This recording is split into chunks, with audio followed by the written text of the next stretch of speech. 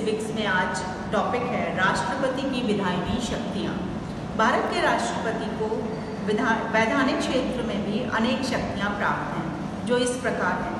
पहली, राष्ट्रपति राज्यसभा के लिए ऐसे 12 सदस्यों को मनोनीत कर सकता है, जो साहित्य, कला, विज्ञान या समाज सेवा के क्षेत्र में कुशल होते हैं। सेकंड राष्ट्रपति का संसद राष्ट्रपति को संसद का अधिवेशन बुलाने या उसको स्थगित करने का अधिकार होता है। तीसरा, कोई भी विधेयक राष्ट्रपति के हस्ताक्षर के बिना कानून का रूप नहीं ले सकता है। चौथा, राष्ट्रपति के पास न्याय संबंधी शक्तियाँ भी होती हैं, जैसे न्यायाधीशों की नियुक्ति का अधिकार होता है, और किसी भी दंड प्राप्त व्यक्ति को वो क्षमा भी कर सकता है।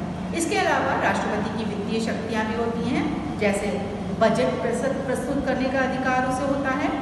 संघ और राज्यों के बीच आयकर को बांटने का अधिकार होता है। किसी भी राज्य को यदि धन की आवश्यकता होती है, उसे स्वीकृत करने का अधिकार भी राष्ट्रपति को होता है। राष्ट्रपति को वित्त आयोग की नियुक्ति का अधिकार होता है। इसके अलावा राष्ट्रपति की संकटकालीन शक्तियाँ हैं। संकट काल में जैसे युद्ध या युद्ध की आशंका होने पर, सशस्त्र विद्रोह होने पर या किसी भी राज्य की सरकार गिर जाने पर, या कोई भी प्राकृतिक आपदा आने से आर्थिक व्यवस्था विफल हो जाने से। राष्ट्रपति को संकट, उस समय